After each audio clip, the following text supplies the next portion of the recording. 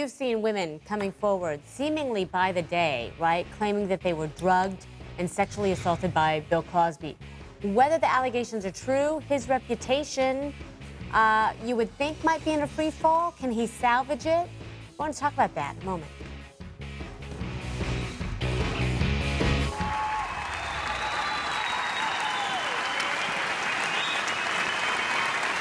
On that stage you see there, Bill Cosby. And what you're hearing, one of two standing ovations last night for him as he performed in Melbourne, Florida.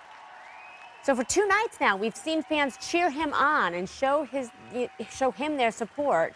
Are the allegations even hurting his career? You know, these allegations that that he raped women. Yeah, uh, let's talk about this now. We've got uh, Joey Reiman, marketing, advertising, and brand executive.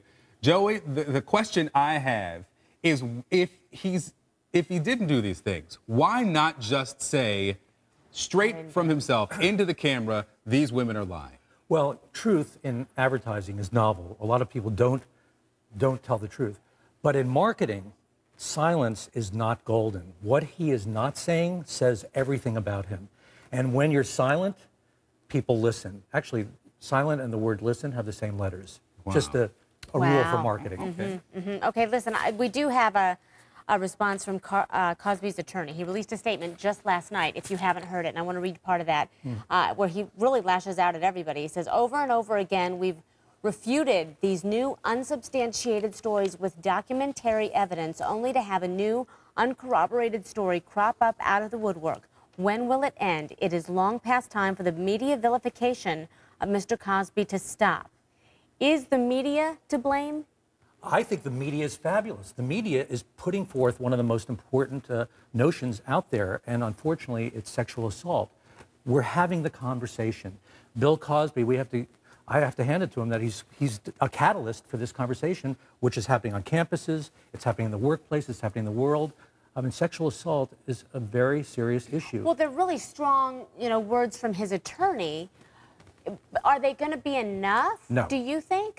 Is he eventually going to have to sit down and have a conversation with somebody publicly? He has to.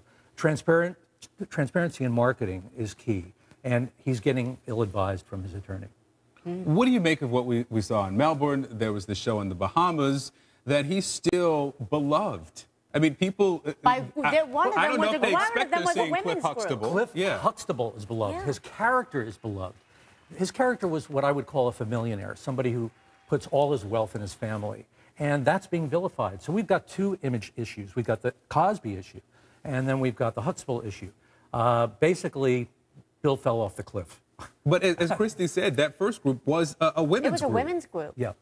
And you know what it reminded me of? It reminded me of the Ray Rice situation. Yeah. Where, the where the very, you know, games. yes, the women show up at the games in his jersey. Yeah. Well, what, what do you make of that kind of support when you're talking about allegations that are so violent against women? Well, now women are being victimized for the second time. A lot of women won't come forward. And the fact that he's out there, you know, we're, we're talking about a baker's dozen, you know, of mm-hmm. allegations. I think it's going to cause uh, room for conversation. And, and he, he, he is the catalyst. If you were advising him, what would you uh, suggest you do? How do you repair this? Uh, talk to Cliff. Talk to his character. You know, his character was a remarkable character that always left a lesson to the public. The lesson here is tell the truth and talk it through. That's what families do. That's what, at least, the unreality show families do. This is the new reality. Yeah. Yeah, and we do need to point out again, though, just to reiterate, he has not been charged not with been anything. Charged. These are all allegations. Well, he's, um, he's, certainly charged up.